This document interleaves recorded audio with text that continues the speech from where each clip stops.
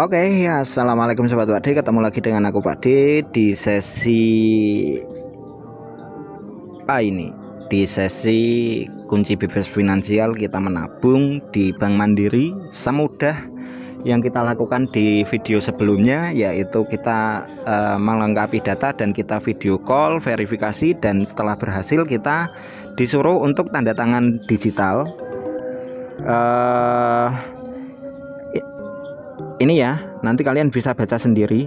Uh, kita langsung saja kita klik setuju. Setelah tadi verifikasinya ya verifikasi via telepon. Kalau kalian belum Nah, di sini kalian kode telah kami temukan. Kita ke nomor HP kita kita masukkan. Ya 14586 14586 Oke.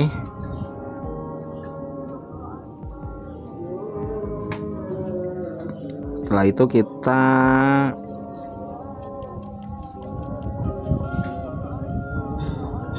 tunggu sejenak untuk reloadnya kita bikin pin untuk SMS banking untuk keperluan transaksi kamu. Ini aku skip ya. Oke setelah 6 angka kita konfirmasi. Dan kita klik yang setuju. Dan setuju. Saya klik yang saya setuju menerima notifikasi dan kita konfirmasi SMS dan ketik ulang pin kita oke? Okay? yang sudah kita buat tadi. Pin SMS banking. Nah di sini kalau kalian mau buka deposito pilih produk di bawah ini untuk dapat kami follow up kembali. Ini bisa kalian pilih kalau mau bikin deposito atau IDC eh, kredit multiguna eh, kartu kredit bisnis internet tahu apa ini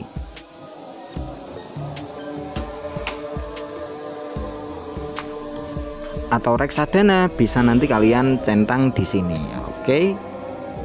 Kita nol saja dan kita klik yang selanjutnya. Dan kita akan mendapatkan nomor rekening kita. Kita akan mendapatkan nomor rekening kita 1350018281731.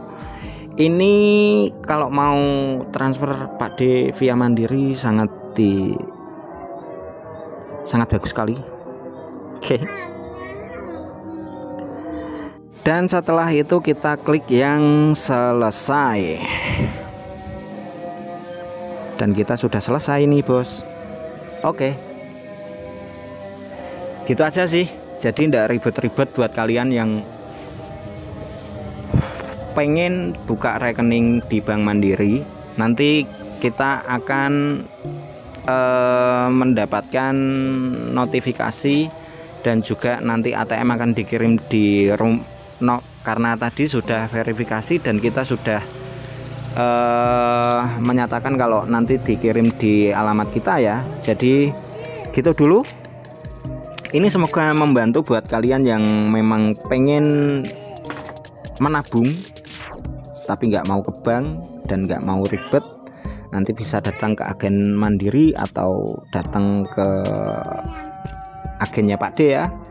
Tapi yang di Semarang ya atau di Bank Mandiri terdekat untuk setoran atau kalian bisa melakukan setoran via Dana atau uh, Dana ya Dana juga bisa.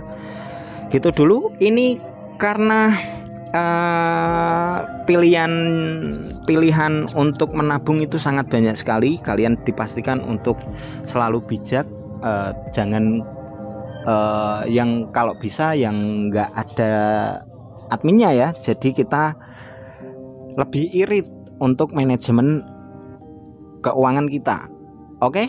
Gitu dulu. Nanti di next step kita bertemu lagi di level 1 untuk kita menabung di produk keuangan di Bank Mandiri ya untuk aktivasi living terbaru.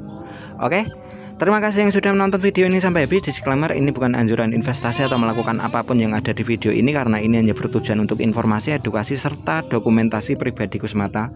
Disadari bahwa risiko investasi itu sangat tinggi, selalu gunakan dana bebas jangan dana beras, your do your own research karena tanpa riset kalian bakal bunuh diri. Dengan ini kalian menyadari bahwa risiko investasi menjadi tanggung jawab pribadi masing-masing. Pak D bukan seorang ahli keuangan ataupun ahli cryptocurrency. Pak D juga sama seperti kalian investor biasa. Terima kasih yang sudah menonton video ini sampai habis jangan lupa bahagia. Semoga profit semuanya minyak. Assalamualaikum